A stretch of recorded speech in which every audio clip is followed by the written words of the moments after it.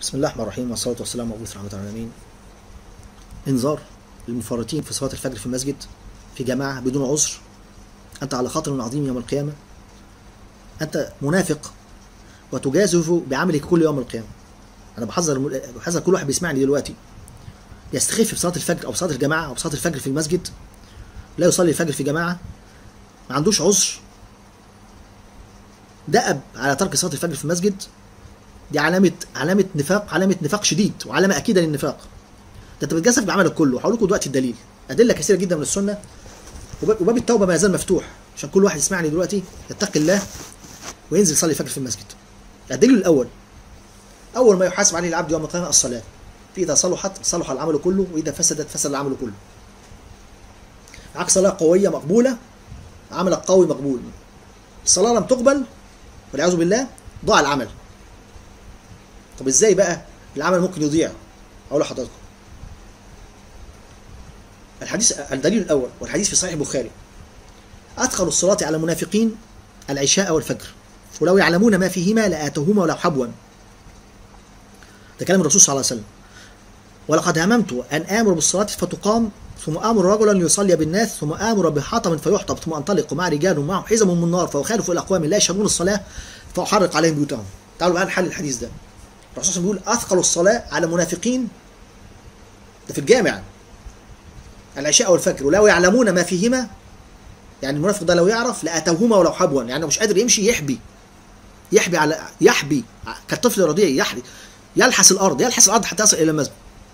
بعدين بيقول إيه عليه الصلاة والسلام؟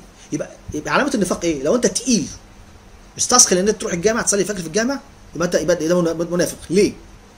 اولا أنت تعصي ربنا بينادي عليك وما بتروحش. لو واحد في الدنيا قال لك تعالى هعمل عشان هتعمل لي عمل معين مدته ربع ساعة وقت صلاة الفجر بالظبط في الجامع والناس بتصلي الفجر. بس انت أنت مش هتصلي الفجر أنت هتعمل لي العمل ده. وهدي لك 100000 جنيه. هتروح ولا مش هتروح؟ هتروح. ولو واحد قال لي مش هروح سأقول له أنت كاذب. ده أنت مش بس ده أنت مش هتنام طول الليل ده أنت هتبات على باب الجامع. لكن ربنا لما بينادي عليك ما بتروحش. يبقى أنت توقر هذا الشخص. ما بتوقرش رب العالمين سبحانه وتعالى. مش رب مش لو واحد قال لك تعالى هديك 100000 جنيه هتروح؟ طب ربنا بيقول لك تعالى والحي على الصلاة. ما بتروحش. يبقى أنت تفضل حطام الدنيا على الثواب العظيم اللي أنت مستنيك. وهقول لكم دلوقتي ثواب الفجر صلاة الفجر بيساوي قد إيه؟ وبتفضل وبتفضل بتوقر شخص وما بتوقرش ربنا. طب ده نفاق ولا مش نفاق؟ ده شرك ولا مش شرك؟ رياء وشرك.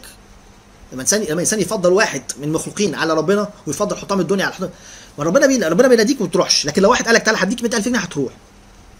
طيب. أثقل الصلاة على المنافقين العشاء والفجر. ولو يعلمون ما فيهما لاتوهما ولو حبوا. ده مش كده وبس. ولقد هممت أن أمر بالصلاة فتقام ثم أمر رجلا يصلي بالناس. وبعدين ثم أمر بحطب فيحطب ثم أنطلق مع رجال معهم حزم من نار فاخالف إلى أقوام لا يشهدون الصلاة فاحرق عليهم بيوت الرسول صلى الله عليه وسلم عايز يروح بيتك ويحرقه.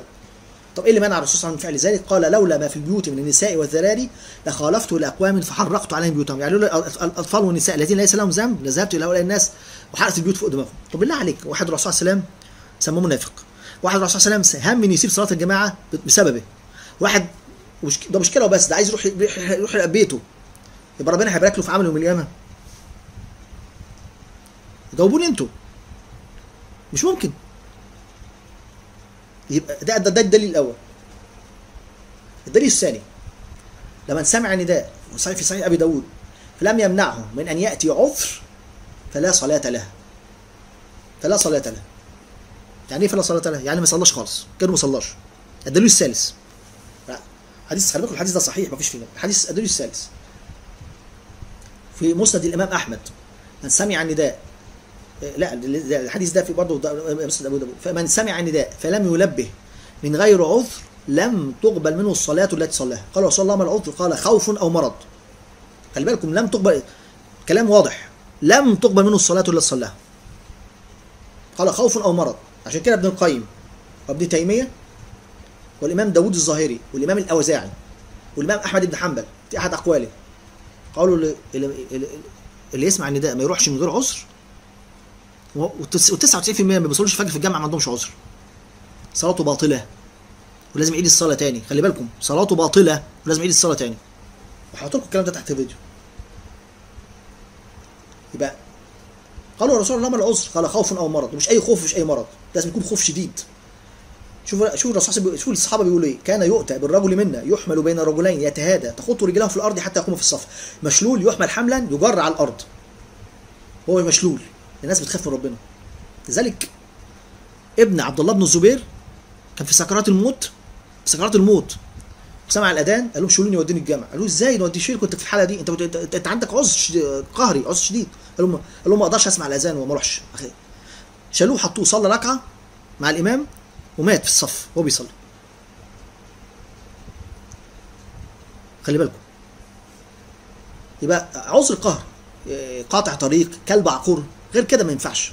لا, لا تقبل الصلاة. الدليل بعد كده. عبد الله بن أم مكتوم ذهب إلى الرسول صلى الله عليه وسلم قال رسول الله والحديث في صحيح مسلم ولو في مسند الإمام أحمد صحيح. قال رسول الله أنا ضرير شاسع الدار عمي بصري ومع غلام لا يلائمني. أو تجد رخصة اصلي في بيتي؟ قال له تسمع نداء قال نعم. قال, لا أجد لك رخصة. تعالوا بقى نحل الحديث. أنا ضرير أعمى. شاسع الدار يعني بيتي بعيد جدا. كان بيته على بعد خمسة كيلومترات كان بيمشي كل يوم 5 كيلو. من من من, بيته للمسجد النبوي. يمشي 5 كيلو الساعة 3 الصبح أو الساعة 4 الصبح في طرق في طرق المدينة الوعره من 1400 سنة في البرد القارس وهو أعمى. معاه غلام لا يلائمني معاه غلام مش مريحه والرسول قال له لا مالكش رخصة لازم تروح. مش, مش بتسمع النداء مش ربنا بينادي عليك لازم تروح. خلي بالكم. يبقى عبد الله بن أم مكتوم الأعمى اللي اللي بيمشي 5 كيلو في أنتوا عارفين طرق المدينة من 1400 سنة كانت عاملة إزاي؟ عارفين الطين عامل إزاي؟ أرض وعره مطبات وطين عارفين البرد الشديد في الشتاء بيبقى عامل إزاي؟ لما واحد اعمى يمشي 5 كيلو وأنت مبصر مبصر وجنب البيت 20 30 خطوة مش عايز تنزل يبقى ربنا هيبارك لك في عملك صلى الله عليه وسلم يقول الصلاة غير مقبولة كيف تقابل رب العالمين سبحانه وتعالى؟ مش ممكن إنسان يكون عنده دم ويسمع الدليل ده وما ينزلش يصلي الجامعة بس في الجامعة الفجر في الجامعة. ولو ولو سمع وما نفس يبقى بقى الإنسان بقى متكبر إنسان متخاذل إنسان يستحق ما يستحق. إزاي؟ عبد الله بن أم مكتوم يمشي 5 كيلو والرسول يقول له لا. الرسول صلى الله عليه وسلم أرحم خلق الله ما عذروش. ما عذروش قال له لا مش. قال له مش بتسمع النداء قال له بسمعه لا بس تمشي. لازم تنزل تمشي 5 كيلو وأنت أعمى. وأنت مش عايز تمشي 20 خطوة وأنت مبصر. بعدين مستني إيه يوم القيامة؟ والعمل مبني على الصلاة خلي بالكم. اذا صلحت صلح العمل كله واذا فسدت فسد العمل كله. طب صلاة غير مقبولة. والعمل مبني على الصلاة يبقى العمل هيبقى عامل إزاي؟ جاوبوني إحنا بنتكلم بالأدلة. طب دليل تاني. عبد الله عبد مسعود يقول إيه؟ كنا نعد المتخلف عن صلاتين من صلاة الجماعة الجماعه منافقا معلوم النفاق. مش منافق بس للصحابة. كان رجل منا إذا تخلف عن صلاتين من صلاة الجماعة أسأنا به الظن. يعني إيه اسانا به الظن اعتبرناه منافق. ما بقى يدوروا عذر من غير عذر يكتبوه مع المنافقين. ولما يموت ما يصلوش عليه. يشكوا فيه خلاص. مش بيسمع النداء ما بيروحش. لأن دي كانت هذا كان دأب. المنافقين أمر الرسول صلى الله عليه وسلم المدينة. يبقى أنت بتتشبه بالمنافقين اللي كانوا عايشين أمر الرسول صلى الله عليه وسلم وبيستخفوا بالجماعة. إن المنافقين يخادعون الله وهو خادعهم. إذا قاموا إلى الصلاة قاموا كسالى يراؤون الناس لا يذكرون الله إلا قليلا. مذبذبين بين ذلك. لا إلى هؤلاء ولا إلى هؤلاء ويضل الله فلن تجد فلن تجد له سبيلا هتضيع نفسك. هتضيع عملك. هتضيع عملك. الصلاة لا تقبل. العمل مبني على الصلاة. يبقى عمل كله عمل كله مبني على الصلاة مشكوك فيها. مشكوك فيها. ف مسألة في منتهى الخطورة مسألة خطيرة جدا. أنتوا عارفين صلاة الفجر في الجامعة صعبة إيه؟ أنتوا عارفين إن الرسول صلى الله عليه وسلم قال من صلى من قام من صلى من قام بعشر آيات في ليلة لم يكتب عند الله من الغافلين ومن قام بمئة آية كتب من المقانتين ومن قام بألف آية كتب من المقنطرين. اللي بيصلي بألف آية يكتب من المقنطرين. عبد الله عبد الله معاذ بن جبل سأل الرسول صلى الله عليه وسلم رسول الله ما القنطار؟ قال القنطار 1200 أقية الأقية خير من طلعت عليه الشمس. 1200 أقية. خير من طلعت عليه الشمس؟ يعني ربنا يحط لك مساحة الكرة الأرضية كلها في ميزانك 1200 مرة في, في, في, في يزودها لك في الجنة. مساحة الكرة الأرضية نص مليار كيلومتر مربع و66 مليون. نص مليار. يعني صلاة فجر واحدة أفضل من ده أفضل من إيه؟ من صلاة الفجر في الجامع أفضل من إن أنت تفضل واقف على رجليك طول الليل. الإنسان لو واقف على رجليه طول الليل مش هيقرأ 1000 آية. ياخد ياخد قنطار واحد. ده ده ممكن يقرأ 3000 آية. سيدنا عثمان بن عفان كان بيقرأ القرآن كله في ركعة. لا حول ولا قوة إلا بالله. سيدنا عمر الخطاب كان يقول لأن أصلي الصبح في جماعة حب لا من أقيم ليلة كاملة. ليلة كاملة تقدر تقرأ فيها نص القرآن أو أو أو ثلث القرآن على الأقل. يعني معناها هتاخد ثواب الكرة الأرضية كلها 2000 3000 مرة. يعني اضرب في ميزانك أو مش في ميزانك اضرب في مساحة الجنة. مساحه مساحتك في الجنة هتزيد اضرب بقى مش مش 1200 مرة اضرب في 2000 كمان. إذا كانت مساحة الكرة الأرضية 500 نص مليار كيلومتر مربع اضرب الكلام ده في 2000 يعني 500 مليار أو 1000 مليار كيلومتر مربع في, مسا... في تزيد في مساحتك في الجنة. ده في يوم ده في ده في يوم واحد بس. بلا مبالغة. لأن صلاة الفجر في الجامع أفضل من أنت تقف على رجليك طول الليل ما تنامش تقرأ. مش أفضل من أنت تصلي ب 100 آية. 100 آية اللي هي الواحد بيصليها في خمس دقائق بيتكتب له قيام ليلة. لكن 1000 آية بتاخد قنطار يعني بتاخد قد الارضيه 1200 مرة. خسارة فادحة جدا جدا جدا. هي دي صلاة الفجر في الجامع. بعد كده الخسارة بعد كده تخسر النور العظيم اللي هتعدي بيه على على على الصراط كالبرق. الرسول صلى الله عليه وسلم يقول في الحديث بشر المشائين في الظلم بالنور التام أو النور العظيم يوم القيامة. والحديث ده حديث حسن. يبقى هيبقى معاك دور ضعيف هتمشي على الصراط تترنح وتقع. والناس على الصراط على أساس اصناف ناج مرسل أو مار مخدوش أو هاون في نار جهنم. اللي بيصلي فجر في الجامع كل يوم هيبقى معاه نور عظيم هيعدي كالبرق أو كلمح البصر. يبقى جواز المرور على الصراط اللي هو أدق من الشعر أو حد من السيف وهتمشي عليه وهو تحت منك جهنم وعشان يبقى معاك نور عظيم تقدر تعدي على الصراط بسرعة صلاه الفجر في الجامع هي دي بتديك النور العظيم. لو ما لو ما صليتش الفجر في الجامع هتضيع منك النور العظيم. هيبقى معاك نور ضعيف. هتمشي تترنح وتخمش وتلسع في الوجه وفي الكتفين وانت ماشي على الصراط بعدين تقع في جهنم. أو تصل إلى الجنة. ممكن تصل إلى الجنة. بس تصل متاخرا وتكون في الدرجات الأدنى في الجنة بعد أن تحرق في الوجه والكتفين. بس مجازفة شديدة جدا. لأن الصراط ده أصعب موقف يوم القيامة. إزاي هتمشي على إزاي هتمشي على الصراط يوم القيامة؟